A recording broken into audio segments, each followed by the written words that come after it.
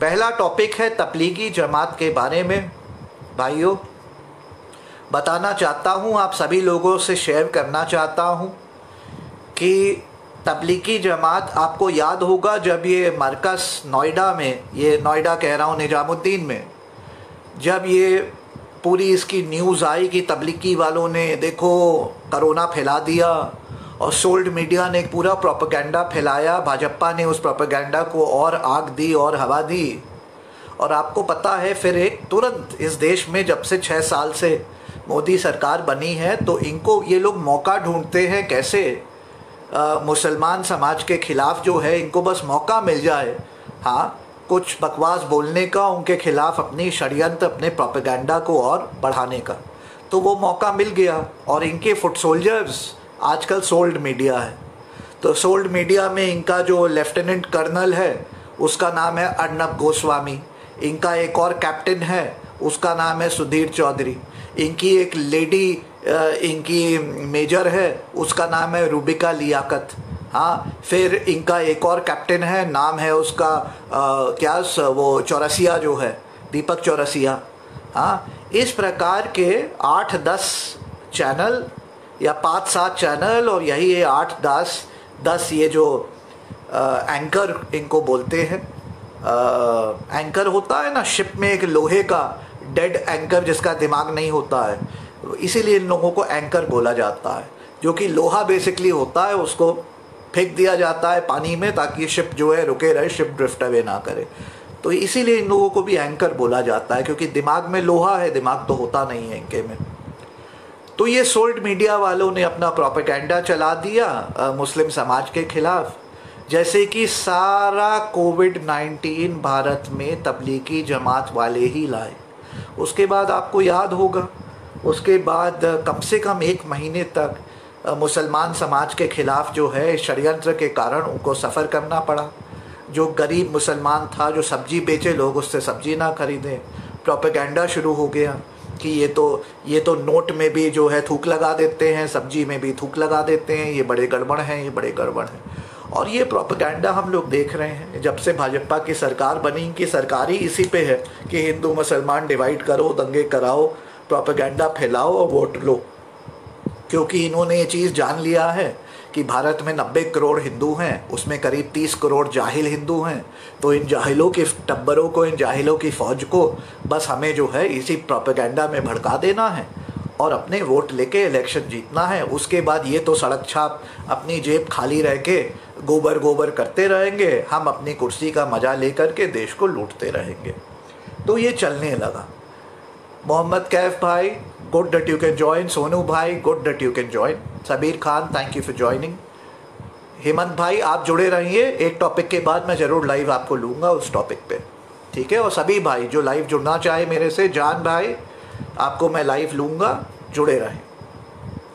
अच्छा अब मैं आप लोगों को बताना चाहता हूँ, जो लोग नहीं जानते, देखिए कितना इंटरेस्टिंग है। तबलीगी जमात पे एक महीना प्रोपेगेंडा फैलाया गया। देश में विशेष प्रोपेगेंडा हाँ? और अब तीन दिन हो गए 21 अगस्त को चार दिन, पाँच दिन हो गए हाँ 21 अगस्त को बॉम्बे हाई कोर्ट की औरंगाबाद बेंच ने तबलीगी जमात के खिलाफ सारे एफ़ आई आर कर दिए और कहा, after going through all the evidence all the documents everything that was there after analysing everything Bombay high court की डिवीज़न बेंच ने पाया कि तबलीगी जमात का एक आदमी एक आदमी भी रिस्पॉन्सिबल नहीं था कोविड 19 को फैलाने का। In fact after going through the documents ये बात तो हम लोग मात से कह रहे हैं, उस समय से कह रहे हैं कि कैसे उन्होंने परमिशन मांगी, कैसे उन्होंने कहा कि हम लोग इतने लोग यहाँ हैं, फंस गए हैं, हमें डिस्पर्स होने दिया जाए, हमें व्हीकल दिया जाए, सारी उन्होंने बात करी। लेकिन लेकिन लेकिन लेकिन, अभी भाई ओ so good to see you भाई। Good morning was the secret behind the beard brother बस, भाई सवा पाँच महीने से लॉकडाउन है। तो मैंने कहा, बाल भी थोड़े बड़े हो गए, मैं तेल लगा के रखता हूँ पीछे अदरवाइज़ द फेल ही लॉन्ग एंड बियर्ड भी साथ साथ बढ़ गई। तो कल मैं गया था सलोन ढूँढने, लगा मुझे कि चीज़ें खुल गई हैं things every open but to my shock and horror nothing is really open up nothing at all so I couldn't find a single salon to get this grooming done so I am back home with beard and the long hair चलिए आगे बढ़ता हूँ। Thank you so much for joining भाई। So so, फिर क्या हुआ कि तबलीगी जमात जो है अब देखिए बॉम्बे हाई कोर्ट ने पाया that they was not a single piece of evidence against them in fact यही नहीं। बॉम्बे हाई कोर्ट ने यह भी होल्ड किया कि तबलीगी जमात के खिलाफ एक प्रोपोगंडा फैलाया which was fanned by the media जो सोल्ड मीडिया की मैंने बात करी। ठीक है? And further they have said that they were treated unfairly for which action should be taken this is what Bombay high court has held okay अब देखिए, कमाल की बात है इस देश में। एक महीना सोल्ड मीडिया ने प्रोपेगेंडा फैलाया तबलीगी जमात के खिलाफ, जैसे कि सारा कोविड 19 इन्होंने देश में फैला दिया। अब जब जजमेंट आई है तबलीगी जमात के फेवर में holding that not one member of the Tablighi Jamaat was responsible for this and they were treated unfairly तो आप देख लीजिए जो मीडिया है, पूरे देश की सोल्ड मीडिया वो ये हो गई है। मुँह पे ताला लग गया है, ऐसे करके, बंद करके डीप सी में डीप ब्लू सी में उन्होंने चाबी फेंक दी है। एक सब हश सन्नाटा। वो शोले में डायलॉग था ना, इतना सन्नाटा क्यों है भाई? सन्नाटा हो गया कोई नहीं बात कर रहा है। कोई नहीं बात कर रहा अब क्यों नहीं ये सोल्ड मीडिया वाले, क्यों नहीं अर्नब गोस्वामी जो हैं, अपने नौ बजे टीवी पे भारत बोलता है, पे कहें कि I am sorry Tablighi Jamaat, मैंने गलत किया। रूपिका लियाकत क्यों नहीं एक अपॉलोजी दें?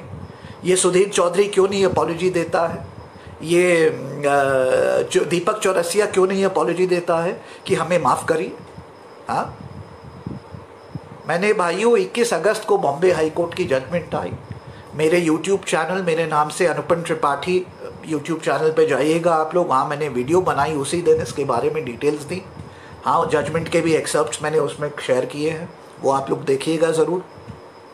हाँ और उसी दिन और आज भी मैं फिर मैं I want to take this opportunity to to apologize to every member of the Tablighi Jamaat and the entire Muslim community, the 25 crore my brothers and sisters, on behalf of the 136 crore Indians who treated them unfairly. क्योंकि मैं apologise करके छोटा नहीं होता हूँ, मैं और बड़ा हो जाता हूँ। लेकिन मैं जानना चाहता हूँ कि ये जो सोल्ड मीडिया वाले हैं, जिन्होंने विशेष प्रोपेगेंडा चलाया, वो कब सॉरी बोलेंगे? When will they repent when will they say sorry in this country हाँ we saying something against a certain religion और अ डेटी और अ गॉड हाँ leads to uh, violence, leads to uh, riots. In a country like that, to to do this false propaganda for a month एक महीने चलाना ऐसे एक पूरी community के खिलाफ। अच्छा आप मुझे ये बताइए एक मेरा छोटा सा सवाल है।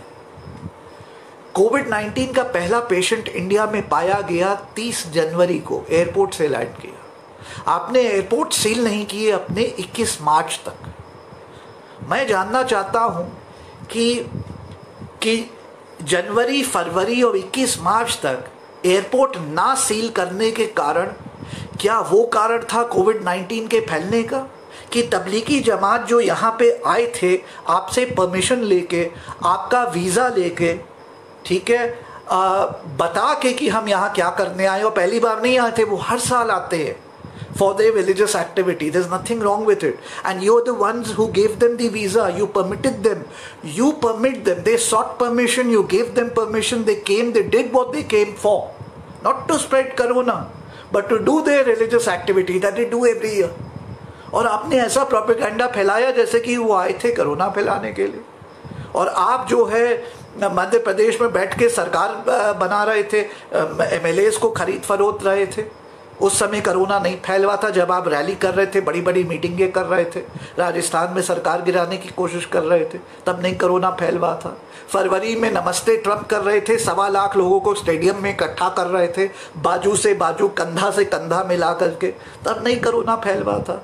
उस नमस्ते ट्रंप के लिए आपने बाहर से कितने फ़्लाइट से में हज़ारों लोगों को बुलाया होगा। उस समय नहीं कोरोना फैल हुआ था।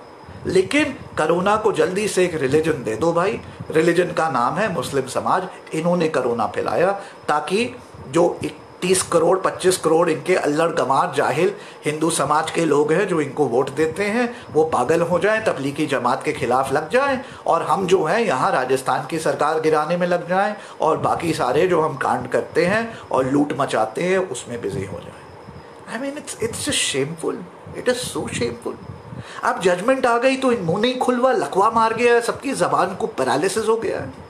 आप लोगों को शर्म नहीं आती है? थैंक यू अभी भाई लुक्स क्रांतिकारी थैंक यू भाई लुक्स का क्या करना है भाई?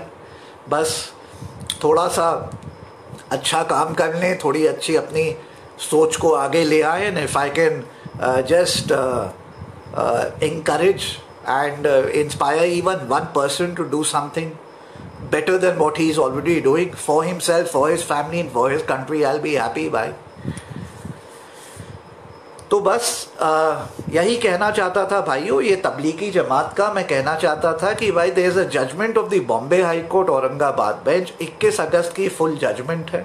जजमेंट ने होल्ड किया not one person from Tablighi Jamaat was responsible for covid 19 judgment ने फर्दर कहा है देवर ट्रीटेड अनफेयरली उन्होंने फर्दर कहा है कि the media targeted them and fanned these communal, you know the sparks and fire against them.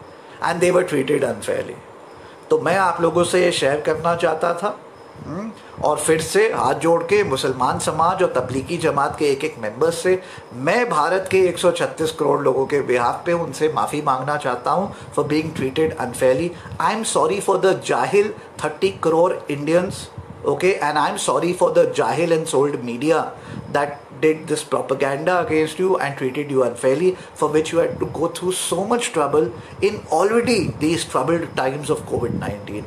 I am sorry. I just want you to know that whenever next after seeking the requisite permissions etc you want to carry out your religious activities you want to roam about in india you want to do the things that you want to do please do you're most welcome we would be honored and privileged to have you here in Delhi, in India, in Bharat. Thank you so much. Never mind a few of these Bhajapa ke Jahil supporters and their Jahil Andbhakts and the soul media, what they have to say. This country belongs to us, not to these idiots.